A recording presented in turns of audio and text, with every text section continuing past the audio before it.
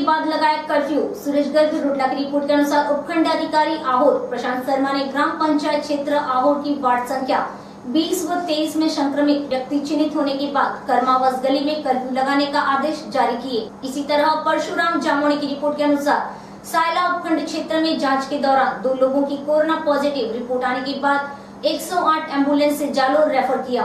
इसी तरह जगमाल सिंह मोदरा की रिपोर्ट के अनुसार क्षेत्र के लूर गाँव में कोरोना मरीज़ मिलने के बाद मरीज़ को भैंसवाड़ा सेंटर में भर्ती करवाने के बाद क्षेत्र में कर्फ्यू लगा दिया गया।